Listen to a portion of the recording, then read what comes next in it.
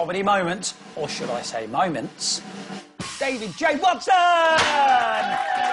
oh, yeah. So come on, David, when you first auditioned, did you ever think that you'd be sat here at the most exclusive showbiz party of the year?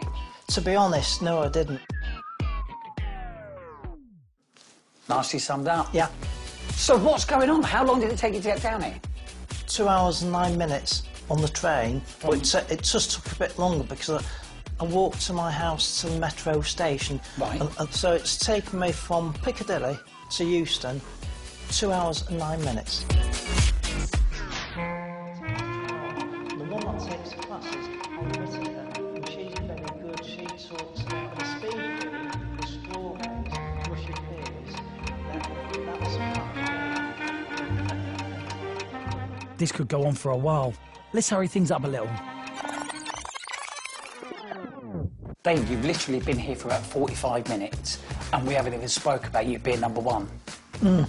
We've spoken anything but. How does it feel? Fantastic. It, it's great because I, I feel, even though I've not got through, if I believe in something, I, I will stick to it. Can you remember the talents that you've actually done I can. I, I can actually go through. from the first year that we saw you? Oh, first year, it was 2008's 3MPs. Hi there. What's your name? My name is David J. Watson, and my performance is uh, impressionist. All right, ready when you are, David. Right, thanks. Here we go, here we go. This is it.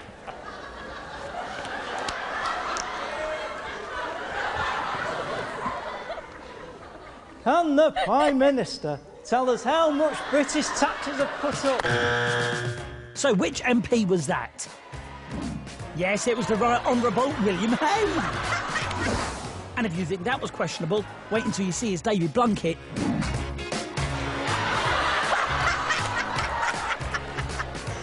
I would like to congratulate Northern Ireland. I don't want to tinker with it. And those buzzers started a beautiful friendship.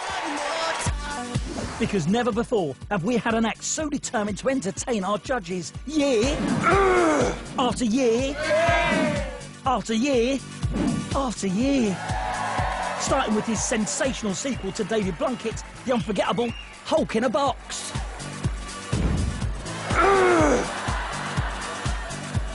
What was that?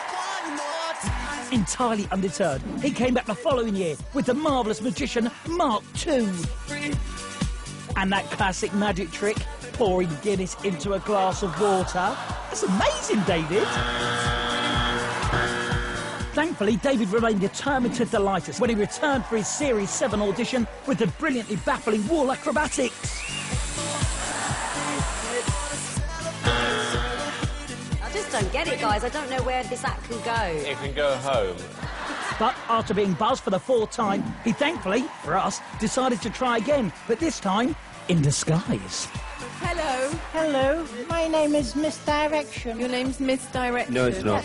Well, of course, it's not Simon. It's our comedy legend David in a dress, and he's about to astound us by eating a raw chili. He's popped the pepper. I wouldn't recommend putting a raw chili in your mouth. or where? I'm, I'm definitely not going to go there where the sun doesn't even shine. Yeah, that's Yeah, right. because it's a bit overcast over there.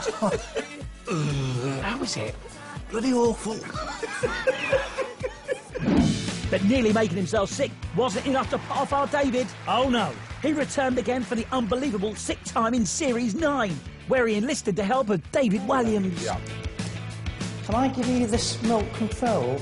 What would you like me to do with it? I'm going to do my act. Hmm. If you want to put it on pause, I can freeze. Okay, play.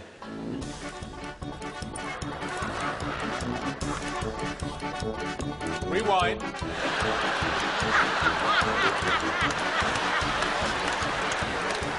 Very good. Okay, play. Fast forward to the end. Play, is that the end? Yeah. Okay, stop. And it looked like our number one act was finally about to get to the semi finals.